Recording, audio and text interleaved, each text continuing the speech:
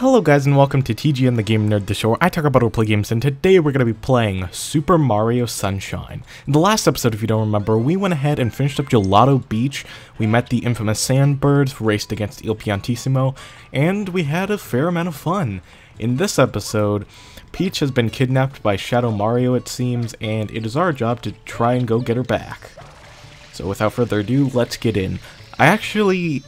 I have something to confess later in the video, but I'll do that a bit later because we've got about a, a, lot of plot stuff coming up right now, and I don't want to, you know, pause the video and stand here for a minute explaining stuff, so I'll just explain that later.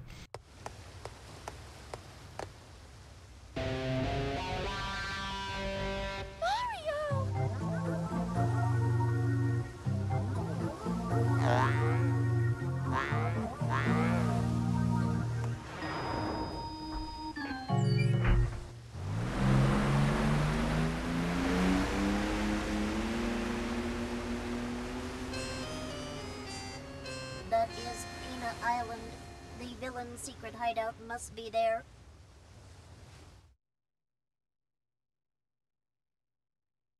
Pinna Island, this is a place we've heard quite a lot about, uh, or at least we've seen it a lot in a bunch of different levels like Ricco Harbor and Gelato Beach, so I'd say it's time we finally go there, and we do that in the coolest way possible, by hopping in a cannon.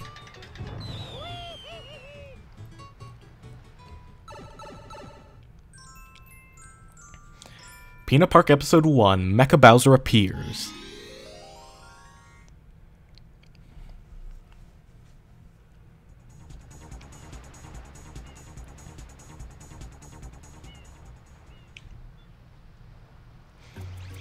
So, quite unlike usual, we have a sort of Shadow Mario Chase-esque uh, mission in, at, as the uh, very first mission instead of the last one like normal. Once we get through that loading screen, we're now in the actual park part of Pinna Park, and we just want to follow him. He makes his way over to this pool here,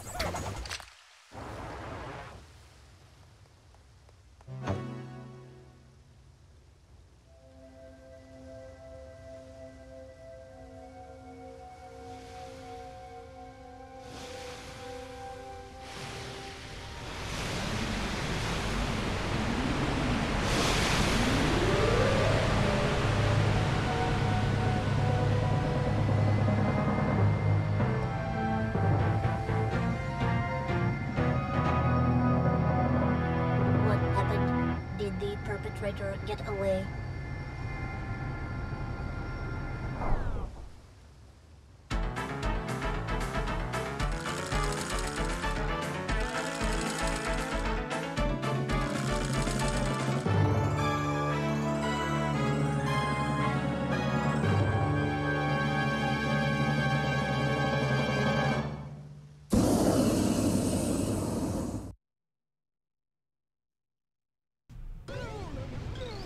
Amazing! What a spectacle! Is this a new show of ours?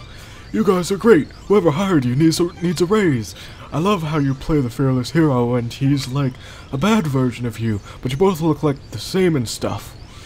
Well, as the director of this park, I want to ensure your success, so how about I provide you with a hero's vehicle? Follow me! and the hero's vehicle is this roller coaster right here.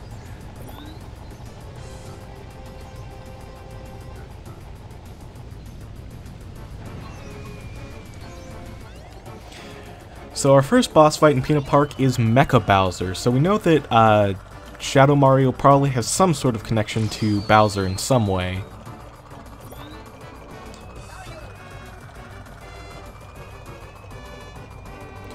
So for this boss fight, what you want to do is you need to take these rockets and shoot them right at Mecha Bowser. There are also bullet bills coming at you from pretty much every angle, so be sure to shoot those down when you have the chance. You want to aim for his head, because I'm pretty sure that does more damage. Direct hit. I believe he only takes four hits, not three like the usual Mario boss fights, but four. Very strange. I guess they kind of wanted to make sure that you go around the entire roller coaster at least once. Because I'm, I'm pretty sure unless you hit, like, each shot perfectly, you'll probably go around the entire coaster at least once.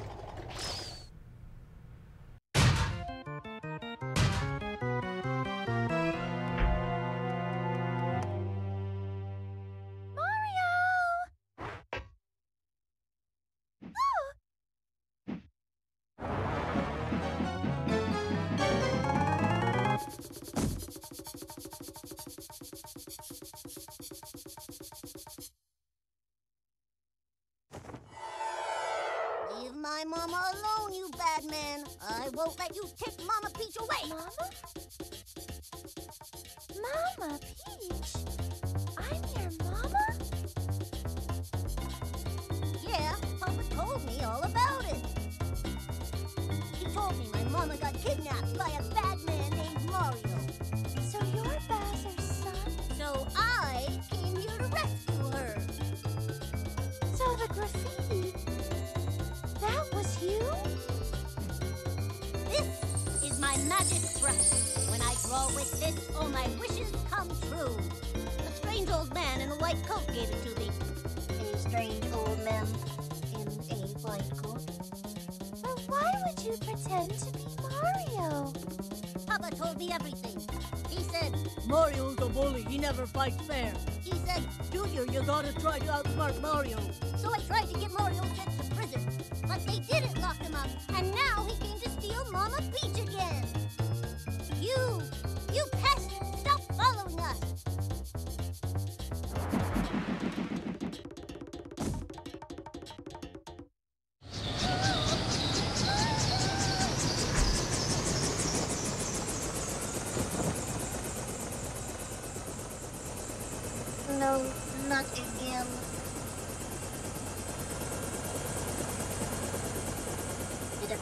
Be heading toward Corona Mountain. With many big reveals with just that one cutscene, we have now gotten our first shine of Pinna Park.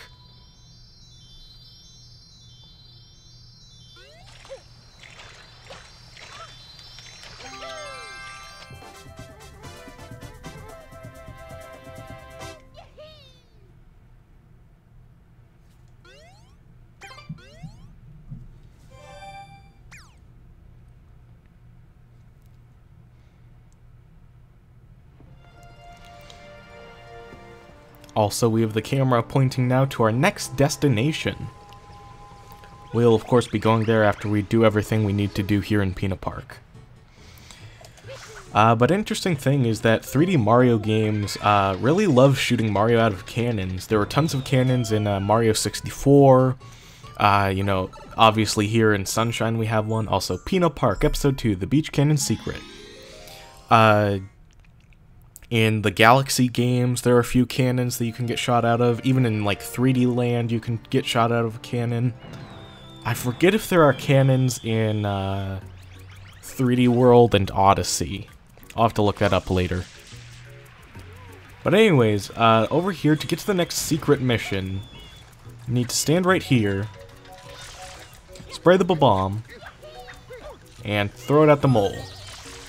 I believe you need to do this three times and he should finally, you know, stop bothering you. If you stand too far away, he'll shoot bullet bills at you instead, which you can't really use against him.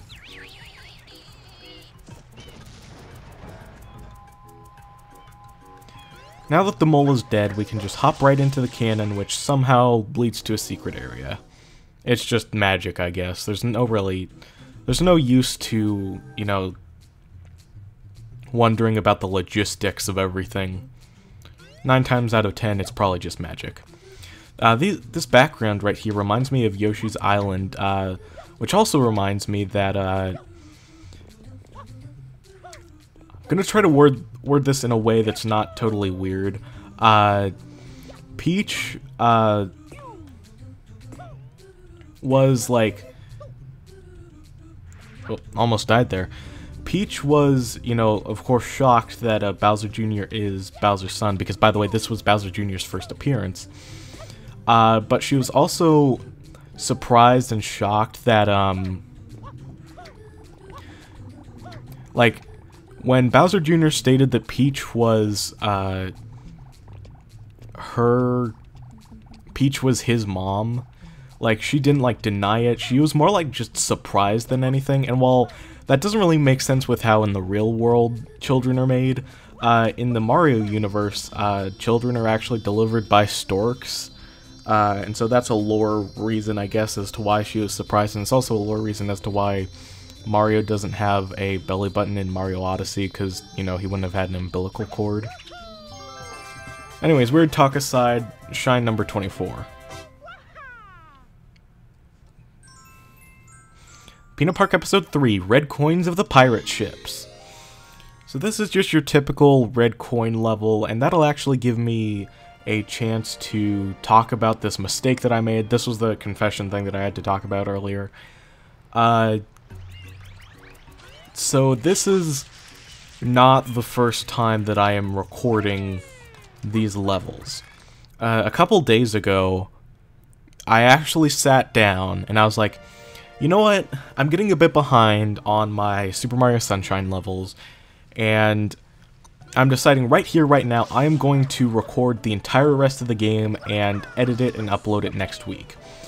And I did. I, I had an entire three hour recording session where I recorded the entire rest of the game. And so I finished that up. I was like, wow, that's awesome. I can't believe I was able to finish the entire thing in one session. It was a super long session, but you know what? It's worth it to finally have this completed. And I was like, okay, so now I need to make sure that the video file saves properly. And I was like completely sure to like triple check. I went to my videos folder and I was like, okay, it's saved, it's here, it's not corrupted or, or anything, it's all good. Uh, and so I'm, I was like, okay, I'm glad that I was able to, you know, get this saved. And so I uh, was about to begin the editing process, and uh, I uh, imported the video into my editing software. And I was like, okay, now it's time to get the audio file uh, of me talking and put that into the software. And I go to check the folder that has my audio files, and I'm like, where's the file for this recording session? And I, like, I double check to make sure I'm not crazy, and, like, in the back of my mind, I'm like, crap, I don't remember saving it. And this is completely due to human error, but I lost, I accidentally exited out of Audacity, my audio recording state, my audio recording stuff, and completely lost a three hour audio file. And just because I like to use Audacity to record myself, not only for videos, but whenever I need to test something, like if I want to test voice effects for future videos, or if I want to test, you know, my voice acting, like, capabilities, like if I can do a voice or not, because I'm doing, like, three visual novel uh, Let's Plays after Mario Sunshine, and so I need to be sure that I can do all of the voices necessary to, you know, do all the voices necessary for all of the different characters I'll be voicing. And so, nine times out of ten, I like to just open up Audacity, record something, listen back to it, decide it's good, and then just exit out without saving. Because it's not like I need that audio file for anything. And so this time, I was just completely absent-mindedly, uh, just completely absent-mindedly exited out without saving and just completely lost it. So I had, where's this last red coin? So I had two options. I could either keep the original video file and just edit in commentary over top of it, or I could re-record the entire thing. And I decided to wait a couple of days and then just re-record the entire thing because it would be one hell of an editing job just to, you know, get everything, you know, and it wouldn't commentary wouldn't feel as natural. It would feel a lot more scripted if I if it if everything for the rest of the series was just all you know edited in audio clips. So I decided that I was just going to uh, re-record the entire thing from scratch, and so the death counter the death counter kind of gets messed up with this because I sure did die quite a lot of times during that recording session. Uh, I'll probably still die a bunch here, but yeah, those original deaths are just going to be lost to time. If I think of anything that I uh, talked about... There's the final red coin. Why didn't I grab that one originally? If I think of anything that I thought about during my original session, I'll be sure to bring it up. But yeah, that's just an unfortunate part of doing stuff like this a lot, is that eventually I'm gonna mess up and lose something. Okay, I'm gonna hop on. There we go, last red coin.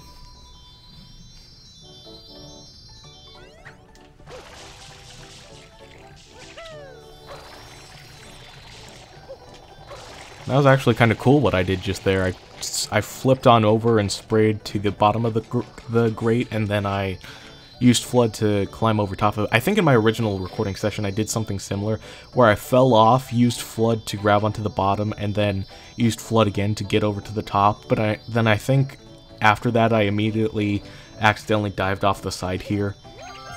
Luckily there's nothing like that this time.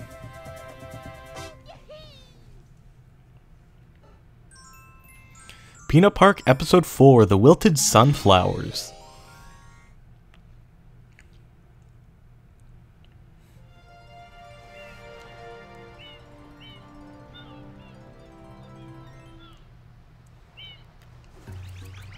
So we're actually going to be doing something on the beach this time instead of going to the park itself. I guess we technically did that with the secret, but we didn't really spend any time on the beach. We just kind of went into the cannon and did a bunch of stuff in that mission.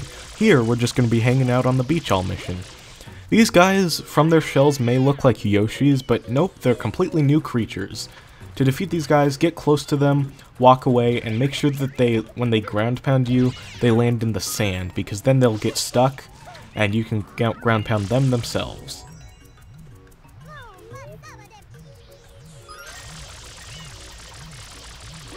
So yeah, there are a bunch of sunflowers. One of these creatures, I don't know the names of them, uh, equates to one sunflower. So of course, once you defeat all of the enemies, all of the sunflowers will be happy.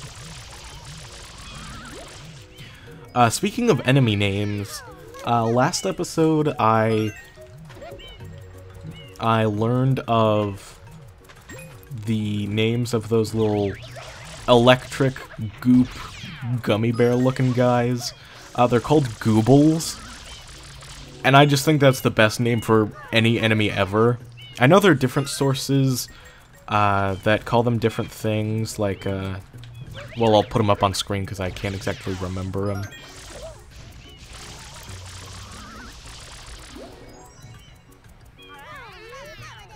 But yeah, I think Gooble is just, like, the best name for enemy, any enemy ever. But with that, we have saved all of the different sunflowers. That should go ahead and give us a shine.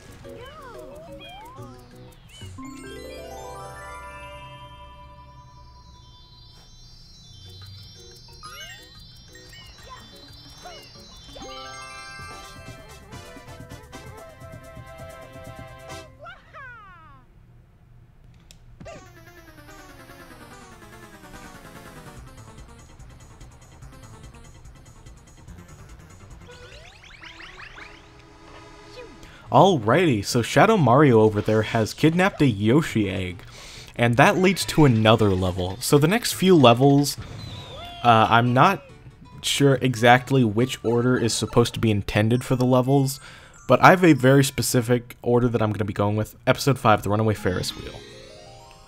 This level is annoying if you don't know how to skip completely past it.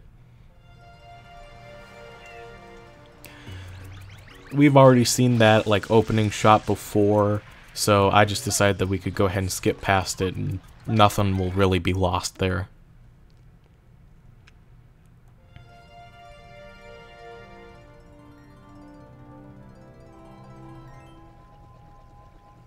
We hadn't seen that before, so I went ahead and let that play out.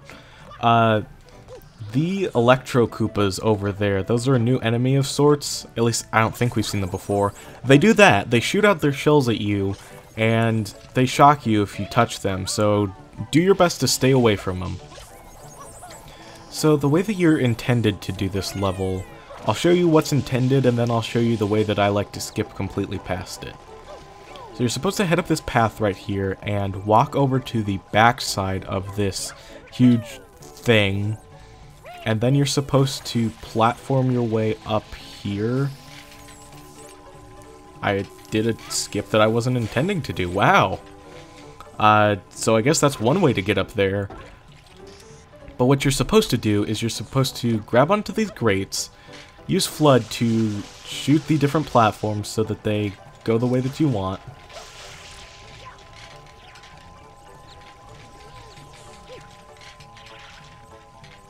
And go up each individual grate while also avoiding enemies and also dealing with this terrible camera angle. I, I'm usually pretty good with, uh, I'm usually pretty lucky with cameras in 3D video games. Like, in some of these earlier games, a lot of people complain about the camera angles, but I usually get pretty lucky with the camera actually deciding to work, you know, like function like it's supposed to.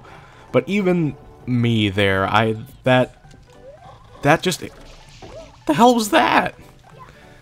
Anyways, that area over there, the camera is just absolutely wonky. Funny how the second that I talk about something not working the way it's supposed to, I just clip through a bridge. That's supposed to happen? Because it happened when I went into over-the-shoulder view, like right about here. And I know that, like, when you jump, like, that opens up the floor a little bit, but I've never, like, fallen through there. Like, Mario falls a tiny bit there, but I've never clipped through it before. Anyways, the way that I like to do things is just to completely skip by. Uh, there's this area right up here that you can easily get to. Uh, and the Ferris wheel is blocking your way from jumping. But if you just spin jump, go as far as you can, and then hold down R, you can just hover right on through. Now, either way, either you go up the normal way or you do the skip that I do, you'll end up up here. Just go ahead and press A while you're underneath this Electro Koopa to just flip him over there into the ocean.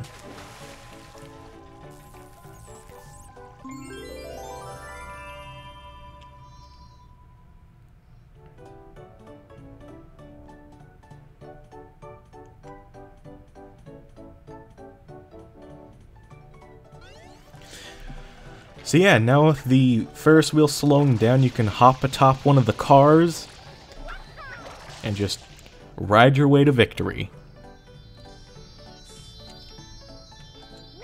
This is probably, I haven't fact-checked this, but this is probably where you can see most of the levels in this game. Obviously we can see Pinna Park, because, well, we're in it right now. Right over there we have a level that we're going to get to in probably episode 6. Uh, we have Gelato Beach over there with the Sandbird. We have Ricco Harbor, Delfino Plaza, uh, Bianco Hills, and those trees right over there are from the last level in the game. There's only, I'm pretty sure there's only one level that we can't see, but that's because it's on the opposite side of the, of uh, Corona Mountain over there.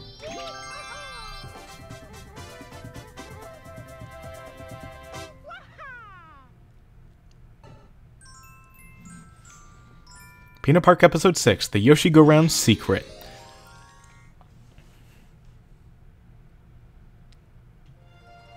Is this the same opening still? Yep. Or not still, but opening cutscene, I mean. Uh, this one is a pretty tough one. Uh, it's the introduction to Yoshi's in this game, which is awesome.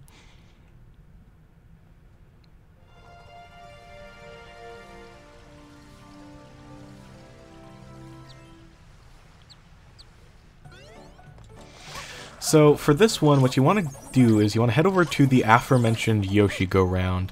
And you'll see there are two different types of Yoshis here. There are pink Yoshis on the uh, inner circle there, and we have orange Yoshis on the outer outer side of the Yoshi Go Round. And there's one mission from the outer side, so we need to go find an orange Yoshi. In order to do that, what you need to do is head on over to uh, this tree right here, this tree that looks like a Pianta, and right behind it, there's this guy who sees that there's a Yoshi egg right here, and it wants a banana. Yoshis work very differently in this game than they did in previous games and games after it, where they require fruit in order for them to hatch.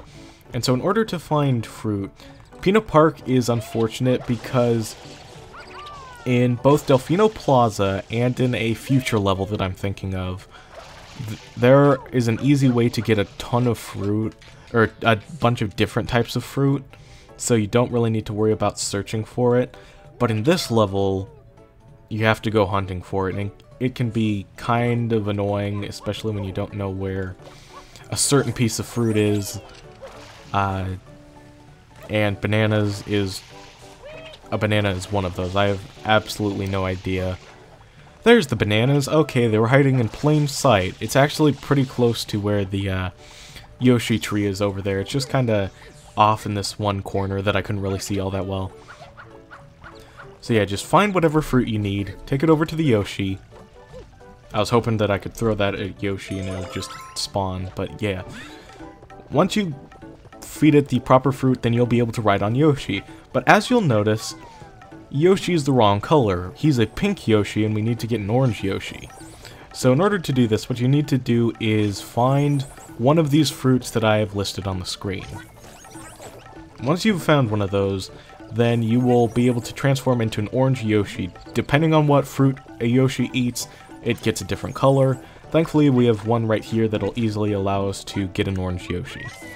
So now with our orange Yoshi, we want to head back to the Yoshi go round.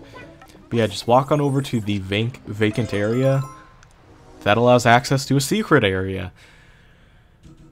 This is where the secret areas start to get a bit annoying. I know that I definitely, first time going through here, experienced quite a few deaths. So if you experience deaths from in this level and in the secret areas from here on out, do not worry. I experienced them too. I didn't need to jump there. I don't know what I was thinking. Another one for the death counter. I was worried that, uh, I mentioned earlier that I was worried the death counter might be a bit off just because, you know, I already had a recording session before this and I was like, well, I died a lot in that one, so, you know, this might be disappointing because I might do better and I won't you know, get as many deaths as before. But no, I'll probably die a lot. Just knowing my general lack of skill when it comes to this game.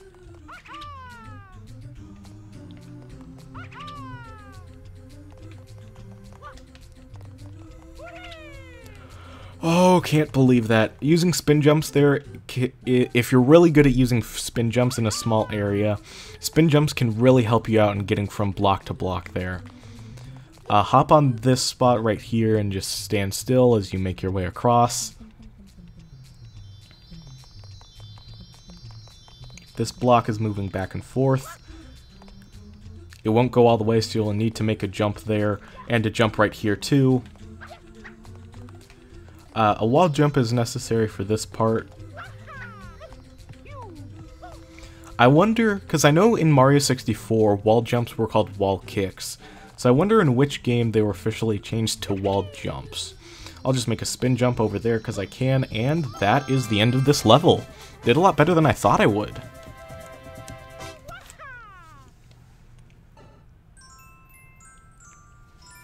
Pinna Park Episode 7, Shadow Mario in the Park.